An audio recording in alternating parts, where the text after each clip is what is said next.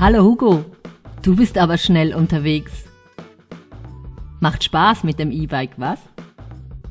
Weißt du, dass du mit dem E-Bike auch beim Anhalten vorsichtig sein musst? Schau, dein Anhalteweg ist mit 25 Kilometer pro Stunde fast doppelt so lang wie bei einem gewöhnlichen Fahrrad, das nur 15 Kilometer pro Stunde fährt. Bei E-Bikes mit einer Tretunterstützung bis zu 45 Kilometer pro Stunde ist der Anhalteweg nochmals wesentlich länger. Das kann ziemlich gefährlich werden, wenn du das beim Bremsen nicht einberechnest. Hugo? Hugo? Alles okay? Ist ja noch mal gut gegangen.